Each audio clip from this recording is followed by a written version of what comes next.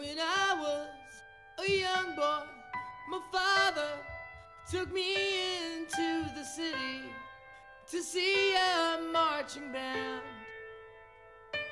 He said, Son, when you grow up, would you be the savior